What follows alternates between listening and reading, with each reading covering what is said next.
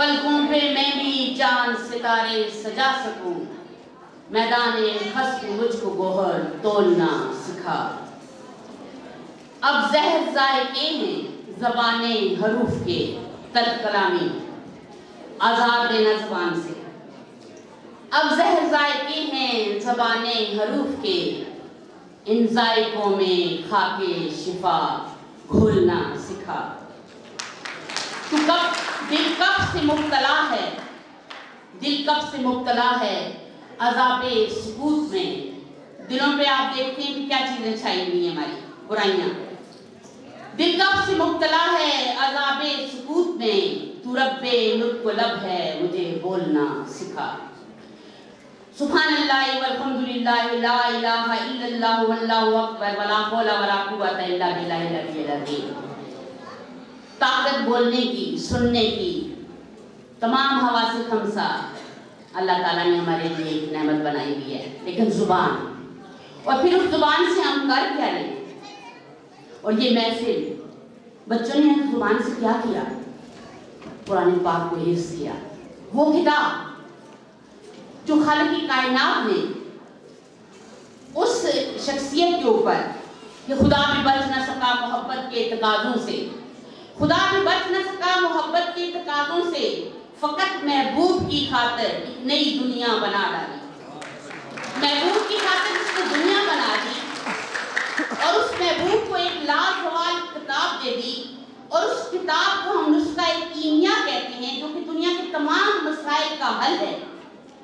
और दारे अरकम को मैं कहती हूँ कि मैं, मेरे पास अल्फाज नहीं है इस अदारे की तारीफ़ के लिए। इसलिए इतना बड़ा काम इतना बड़ा काम जो कि मौजूदा दौर में मैं कहती हूँ कि इससे बड़ा काम कोई और है ही क्योंकि हर अदारा यहाँ देखते हैं इंग्लिश मीडियम रूट सिटी मैं अदारों के नाम नहीं लूँगी। वो हम क्या कर रहे हैं? वो क्या हम किरदार बना रहे हैं?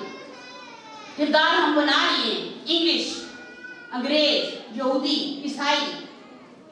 तो हम मुसलमान होने के नाते, एक मुसलमान रियासत होने के नाते हमारे अदारों में क्यों नहीं ये चीज़ें एप्लीकेबल हो रही मैं हर फोरम में जब मुझे मौका मिलता है मैं यही बोलती हूँ खुदा रहा खुदा रहा खुदा रहा अपने अदारों में कुरान पाक। और मैं कहती हूँ, ये जो फैमल कुरान लाया गया है, मुझे नहीं पता कि हमारे अरबाब इख्तियार में से किसकी काउशल से लिया आया है। और मैं उसको इतनी दुआएँ देती हूँ, और बच्चे फैमल कुरान से भाग लें, क्योंकि उनको कुरान पढ़ना ही नहीं है।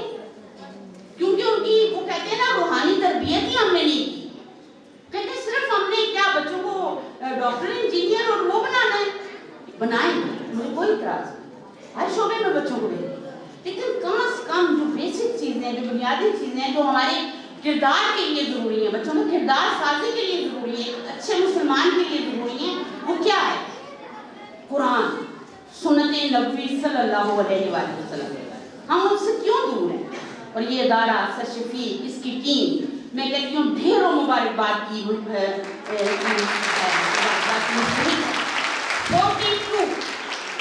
इन्होंने बताया मुझे आज कि इनके जो हफाज हैं, वो आज इनके तहसील हुए हैं और हिफ्स किया उन्होंने।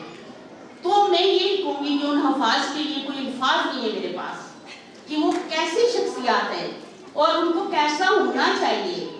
और मैं उनको सिर्फ़ यही उनको नसीहत करूँगी कि बच्चों, आपने कुरान को तो पढ़ लिया, लेकिन इसको समझना है। क्योंकि कुरान वो किताब है, कहते हैं इसको पढ़ने से सवाब मिलेगा। लेकिन उसको समझने से हदायत मिलेगी। और जब हदायत ही नहीं है हमारे पास तो फिर हम अच्छे इंसान कैसे बन सकते हैं? तो वो बातें जैसे सशफी कह रहे थे कि मेरे पास बहुत ज़्यादा है। लेकिन वो मैं कहती हूँ ना, मुझे तो दो घंटे चाहिए बोलने के लिए। लेकिन रहमिन का जो है, और खास तौर पे जो इधर का बुनियादी मकसद है तो जो जबान से बातें मैंने कही हैं अफवाज के लिए। तो मंजूम तरीके से वही बातें मैं उनको थोड़ा सा उनको खराज तहसीन पेश करना चाहूँगी। बच्चों को अपने साहिब ईमान बनाओ। बच्चों को अपने साहिब ईमान बनाओ। कुरान पढ़ाओ कुरान पढ़ाओ। जब मैं लफ्ज कुरान पढ़ाओ बोलूँगी तो आप सबने उसमें शामिल होना ताकि एक खास समा रूहानी किस्म का पैदा हो जाए। सीरत मोहम्मदी, सीरत है जरा, उनको सजाओ। कुरान पढ़ाओ कुरान पढ़ाओ। कुरान पढ़ाओ कुरान पढ़ाओ। दुनिया की भी तालीम ज़रूरी है पढ़ाना। जीवन का गुजारा है, हुनरमंद बनाना। अखलाक तहजीब का मकसद न बुलाओ। कुरान पढ़ाओ कुरान पढ़ाओ। मैं ये नहीं कहती कि इंग्लिश ना पढ़ाना। मैं ये नहीं कहती कि इंग्लिश ना पढ़ाना। सीएमबी कमिश्नर उन्हें कप्तान बनाना। सीएमबी कमिश्नर उन्हें कप्तान बनाना। हाँ। हाँ मगर जीने के अरकान सिखाओ, कुरान पढ़ाओ कुरान पढ़ाओ। बीएसपी कराओ बीएसपी कराओ, उन्हें एमबी एमबीए भी कराओ, साइंस भी पढ़ाओ और चाँद पर भी ले जाओ। हाँ शर्त मगर है, पहले मुसलमान तो बनाओ।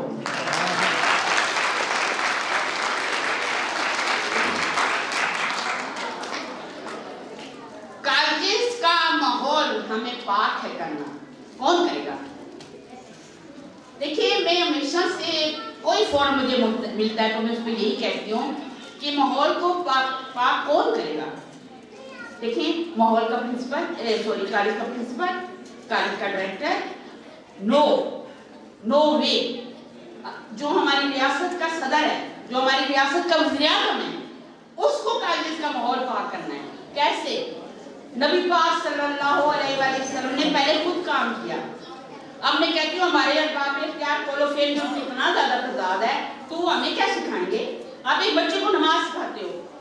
मैं कहती हूँ, जक्रिया, नमाज़ पढ़। तो कहता, मम्मा, आपने पढ़ी? पहला सवाल बच्चे का, मम्मा, आपने पढ़ी? तो जब मैंने नहीं पढ़ी होती तो मेरी उस बात में तासीर कहाँ से आएगी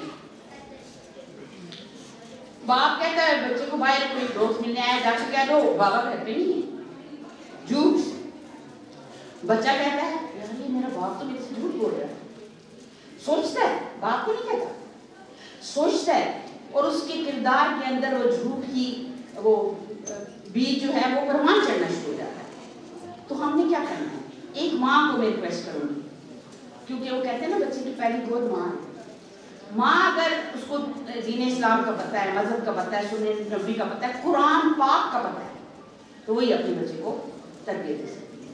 शुक्र अलहमदिल्ला कि मैं अब मेरे घर में मेरी बेटी हाफजा है आलमा है।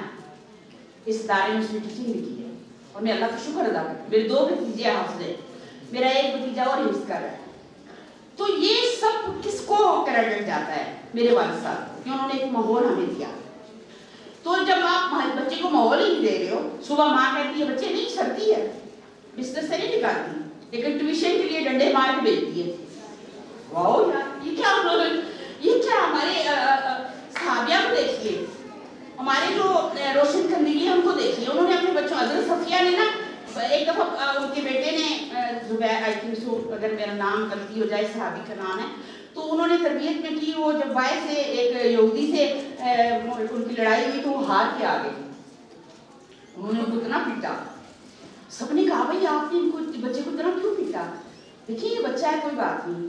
तो जब दोबारा उन्होंने उसकी तरबियत की, उसको सिखाया, वो सारा कुछ तो दोबारा वो जब उस यहूदी को लताड़ के आ गया तो फिर उन्होंने अपने उनसे ही कहा, जिन्होंने उनको क्रिटिसाइज किया था। कहते, देखा मेरे जुबैर को? ये है माँ की तरबियत, और इस की तरबियत क्या है? कि वो माहौल देते हैं बच्चे को।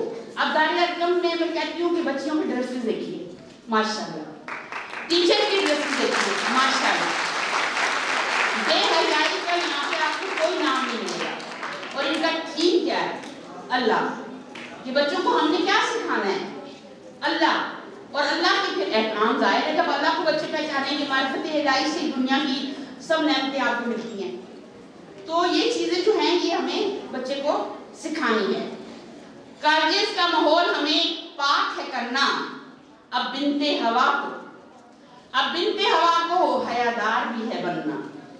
अब बिनते हवादार बिनते है हवा को, हयादार की है बनना पर्दा वो ने फातिमा का याद दिलाओ। कुरान पढ़ाओ कुरान पढ़ाओ। क्यों इल्म से खाली मैं करूँ बेटी का दामन? अक्सर आप देखते हैं हमारे रूरल एरिया में बच्चियों को पढ़ाना अच्छा नहीं समझा जाता। तो कहते हैं कि क्या ज़रूरत है? उन्होंने घर संभालना है। दैट्स टोटली रॉन्ग मेरी चार बेटियाँ हैं। दो को मैंने एम फिल करा दिया, तीसरी को आपसा बनाया चौथी कंप्यूटर साइंस कर है और साथ मैंने उनको कुरान की तालीम दी। तो ये क्या करना है, बेटी को भी आपने तालीम ज़रूर दिलानी है। पहला जो मदरसा है, वो घर का ही है आँगन। पहला जो मदरसा है, वो घर का ही है आँगन। जन्नत की इसी राहों को आसान बनाओ, कुरान पढ़ाओ, कुरान बस मेरा ख्याल बहुत हो गया। क्योंकि वही मैं कहूँगी कि बाकी लोगों को भी मौका देना चाहिए। ये बेतरतीब सा आलम बदलना है। बेतरतीबी हर तरफ़ आपको नज़र आएगी। ये बेतरतीब सा आलम बदलना है। बहुत सूरत हमें साथ चलना है।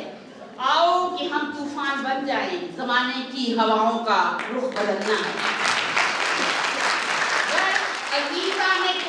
समझ जाओ तुम तालिब पहाड़ बन जाए। गर अजीजा ने कुलबा समझ जाओ, तुम रंगे आलम यकीनन बदल जाए। इस दुआ के साथ मैं अपनी का इस्तेमाल करूँगी। तेरी अजमतों से हूँ बेखबर ये मेरी नज़र का कसूर है।